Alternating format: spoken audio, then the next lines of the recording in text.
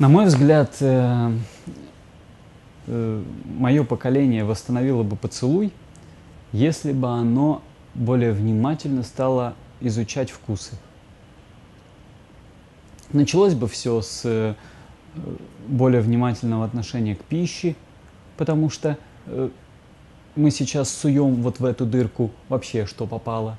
То есть э, даже иногда не чувствуя это. Потому что если вы сейчас попробуете чизбургер из Макдональдса, вот именно попробуйте, не спеша, начнете разжевывать вот эту булочку, вы поймете, что она отвратительного вкуса, реально отвратительного. Единственный вкус, который там есть по сравнению с персиком, например, это соль.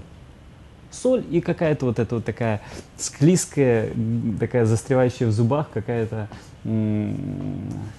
эхс, понимаете, тесто такое. Э, по вкусу отвратительное, но мы же, не, мы же не, не успеваем почувствовать. У нас есть образ Макдональдса. Макдональдс, I'm loving it. И мы как бы это, э, мы кушаем образы, а не вкусы. Поэтому, на мой взгляд, первое, что нужно, чтобы поцелуй опять пришел к нам, и чтобы это не было пошло и отвратительно, вот так целоваться, это восстановить ощущение вкуса. Как только ощущения вкуса будут очень-очень обострены, ну вот, например, я бы не хотел в эту тему сильно впадать, но я, например, экспериментирую с питанием и считаюсь сыроедом, то есть сам себя считаю. То есть я стараюсь сырые продукты употреблять, изучать, как они на меня воздействуют. И э, после этого у меня обострились ощущения запахов, например. Вот с кем-то я не могу в одной комнате просто находиться. Вот когда запах изо рта есть какой-то, я понимаю, что человек интересный, мне надо с ним работу какую-то, но не могу я. Вот он, когда со мной говорит, я от него отхожу, он еще подходит, а я отхожу, я не могу. Ну, а, то есть переписываться с ним, что ли, по интернету как-то. Э, раньше я не обращал на это внимания.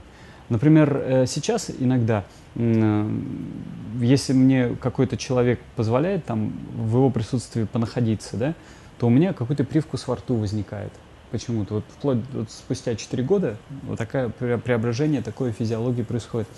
Или, может, это я себе придумываю, я не знаю, психосоматика. Но так или иначе, я представляю, что такое поцеловать человека, поцеловать, поцелу, поцеловать, правильно по-русски?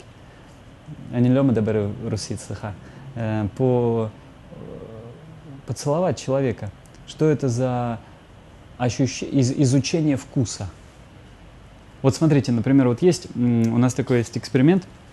Есть яблоко, есть банан, есть голодный человек. Он очень голодный. Э, и ему дается яблоко и банан, и спрашивается его, что сейчас ты больше хочешь, яблоко или банан? Он сначала первое думает головой. Там, ну, яблоко, оно э, менее калорийное, значит, я хочу банан, чтобы насытиться и прочее. А потом мы говорим, стоп, вот теперь давай следующий эксперимент. Закрой глаза, ему делается завязка, выключается свет, отрезается от яблочка маленький-маленький кусочек, и вот так вот пере, э, в такую кашицу переделывается. И от банана тоже такую кашицу. Ему дается на маленькой такой ложечке в темноте маленький кусочек попробовать. И он когда пробует, вот теперь он спрашивает, а вот теперь ты что хочешь? Вот по вкусам. Он не видит, не чувствует, не знает, что ему дали. Но он только внимательно-внимательно пытается по, по, пощупать, вот по вкусу, что бы ему сейчас хотелось. Он просто говорит, нет, банан совсем не хочется. Яблоко хочется. Вот хочется яблоко. Вы представляете, что бы было, если бы мы, поцеловав человека, попытались по вкусу понять, как мы к этому человеку себя ощущаем, чувствуем мы как будто маленькая химическая лаборатория у нас внутри изучает этого человека изнутри. Мы его э, ощущаем, мы какую-то информацию получаем. Мне кажется, это было бы замечательно.